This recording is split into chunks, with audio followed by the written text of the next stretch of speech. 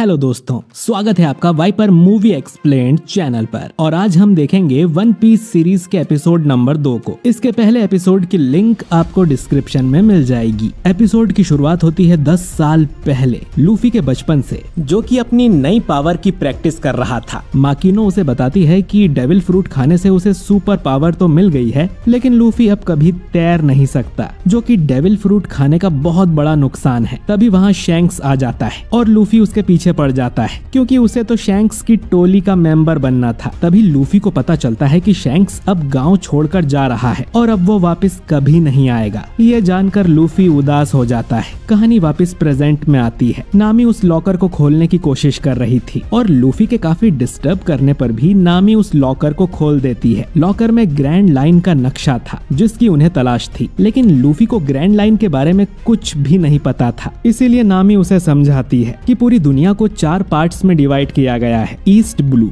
West Blue North Blue और south blue इस समुद्र के बीच में एक लंबी सी ज़मीन है, जिसे रेड लाइन कहते हैं और साइड वाली लाइन को ग्रैंड लाइन कहते हैं, जहाँ पर गोल्ड रॉजर का वो खजाना छिपा हुआ है. पर नामी के हिसाब से कोई खजाना है ही नहीं, क्योंकि अगर होता तो अब तक किसी न किसी को मिल गया होता. तभी उनकी शिप पर दूसरे पायरेट्स हमला कर देते हैं. पायरेट्स पूरी शिप पर बेहोश कर देने वाली गैस छोड़ देते हैं, जिससे लूफी की पूरी टोली बेहोश हो जाती है। लेकिन बेहोश होने से ठीक पहले लूफी ग्रैंड लाइन के नक्शे को निगल कर अपने पेट में छुपा लेता है। जैसे ही टोली को होश आता है, वो लोग खुद को एक सर्कस के बीच में पाते हैं, जहाँ का रिंग मास्टर है बगी द क्लाउन। सर्कस में कई सारे लोगों को कैद करके रखा गया था, जिन्हें ज़बरदस्ती ऑडियंस बनाकर सर्कस शो दिखाया जाता है। बगी उन्हें बताता है कि खुद उसे भी ग्रैंड लाइन के नक्शे की तलाश है, और जिस काम को वो कई सालों से नहीं कर पाया, वो काम तीन नौसिखियों ने कर दिया। इसीलिए गुस्से में बगी उनसे ग्रैंड लाइन का नक्शा माँगता है। अब नामी खुद अपनी जान बचाने का सोचती है। वो लूफी की हेड को हवा में उछाल देती है, जो की लूफी को अपनी जान से ज़्यादा प्यारी है। लूफी उसे पकड़ने के लिए अपना हाथ लंबा करता है और ये देखकर सभी लोग हैरान हो जाते हैं। इसी मौके का फ़ायदा उठाकर नामी सर्कस से भाग निकलती है। बाहर जाकर वो देखती है कि बगी ने पूरे शहर को तबाह कर दिया था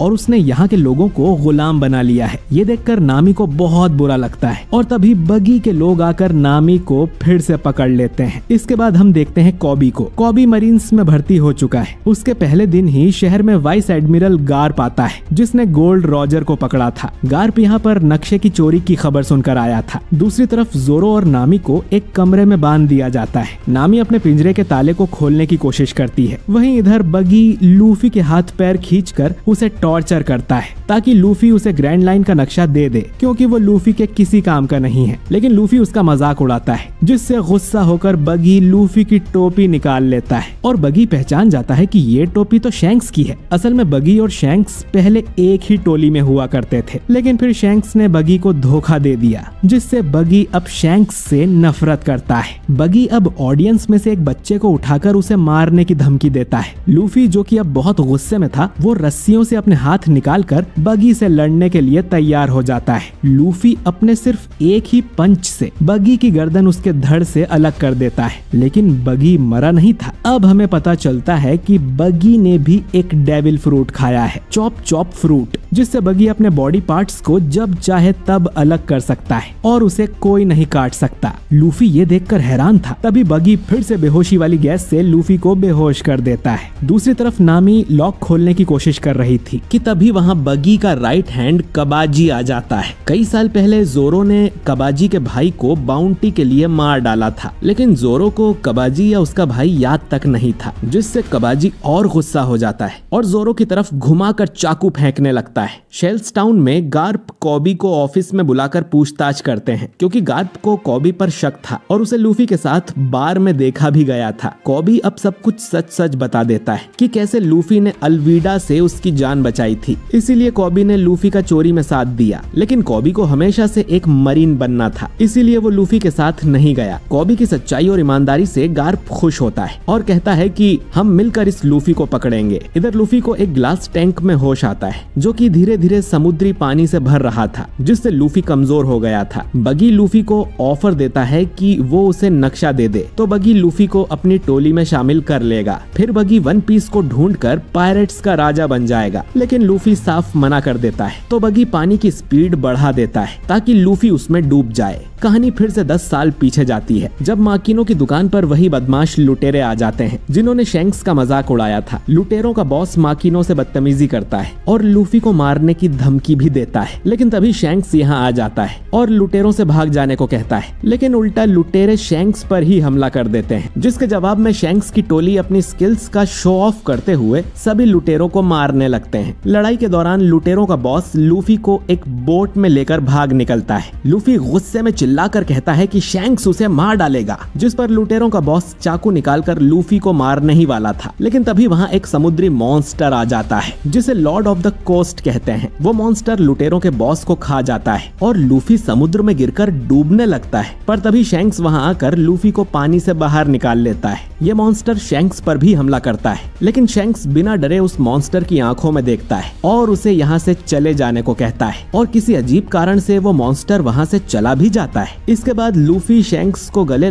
लगाकर खुश हो ही रहा था कि तभी उसे पता चलता है कि शैंक्स का लेफ़्ट हैंड उस मॉन्स्टर ने खा लिया है और ये देखकर लूफी को बहुत बुरा लगता है और वो रोने लगता है। लेकिन शेंक्स को इस बात की खुशी थी कि लूफी को कुछ नहीं हुआ। प्रेजेंट टाइम में हम लोग देखते हैं कि लूफी अब पूरी तरीके से पानी में डूब चुका है और बगी उसकी टोपी के साथ खेल रहा था, जिससे लूफी को बहुत गुस्सा आ रहा था। वहीं दूसरी तरफ़ कबाजी चाकुओं से जोरो को डराने की कोशिश कर रहा था, लेकिन जोरो को उससे बिल्कुल डर ही नहीं लग रहा था। अब क्योंकि नामी ने अभी तक ताला नहीं खोला था, इसीलिए जोरो उसे बातों में उलझाता है और बताता है कि कैसे लूफी ने उसकी सोच बदल दी है और जोरो को लूफी के प्लान्स पर नहीं, बल्कि लूफी लूफी पर भरोसा है। ये सुनकर कबाजी हंसने लगता है। तभी पीछे से नामी उसे लात मारकर जोरो के पास फेंक देती है और जोरो अपनी मज़बूत पकड़ से कबाजी को बेहोश कर देता है, जिसके बाद जोरो और नामी दोनों ही तैयार हो जाते हैं। बाकी पायरेट्स को मारकर लूफी को बचाने के लिए, नामी अपने वेपन से कांच के पिंजरे को तोड़ देती है, जिससे लूफी बाहर आ जाता है। और तब तक जोरो ने बगी के सारे लुटेरों को मार दिया था। लूफी के बाहर निकलते ही उसे खांसी आने लगती है और खांसी के साथ ही ग्रैंड लाइन का नक्शा भी बाहर निकल आता है, जिसे देखकर बगी बहुत खुश होता है। जोरो बिना टाइम वेस्ट किए बगी पर हमला करता है, लेकिन बगी के चॉप चॉप फ्रूट की वजह से उसे काटना नामुमकिन है। बगी अपनी पूरी बॉडी को अलग कर लेता है और सभी पर हमला करता है। हमले के दौरान वो लूफी की हैट को भी काट देता है, जिससे लूफी को बहुत गुस्सा आता है। इसके बाद लूफी की नज़र यहाँ पड़े बक्सों पर जाती है। अब लूफी और जोरो बगी के बॉडी पार्ट्स को पकड़कर उन्हें बक्सों में डालने लगते हैं और नामी उन्हें लॉक कर देती है और इस तरह आखिर में बगी की सिर्फ़ गर्दन, हाथ और पैर ही बचते हैं। आखिर में लूफी कहता है कि वो लुटेरों का राजा बनकर ही रहेगा। ये कहते हुए वो बगी के सिर को बहुत ही दूर फेंक देता है। यहाँ से जाने से पहले ये लोग सभी बंदी बने लोगों को भी आज़ाद कर देते हैं। जिसके बाद हम देखते हैं कि मरीन बेस में vice admiral Garp,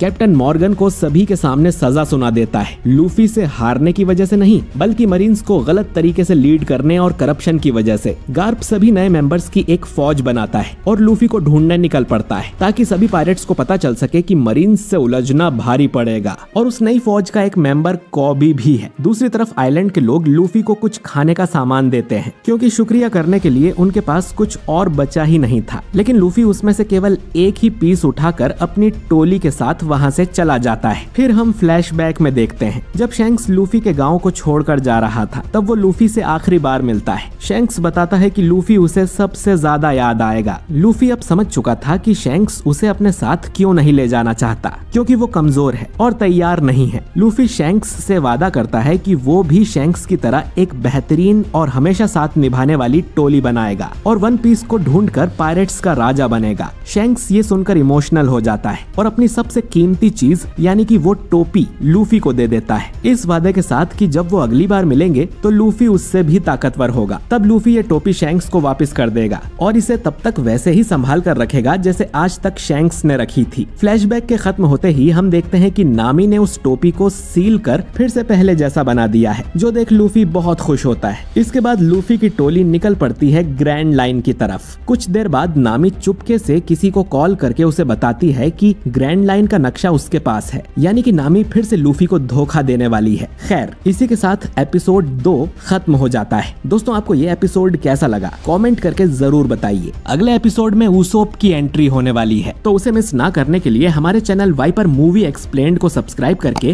bell icon ज़रूर दबाइए, ताकि आपसे हमारा कोई भी वीडियो मिस ना हो। और वीडियो अच्छा लगा हो तो इसे लाइक और शेयर भी ज़रूर कीजिए। मैं मिलता हूँ आपसे बहुत ही जल्द अगले वीडियो के साथ। शुक्रिया।